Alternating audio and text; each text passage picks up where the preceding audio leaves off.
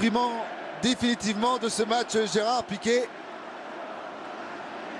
Il y aura un coup franc sous euh, le regard euh, de Shakira, la compagne euh, de Piquet.